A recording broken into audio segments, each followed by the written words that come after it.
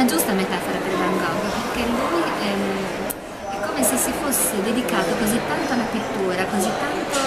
eh, come spinto verso l'assoluto che come Icaro che ha puntato al sole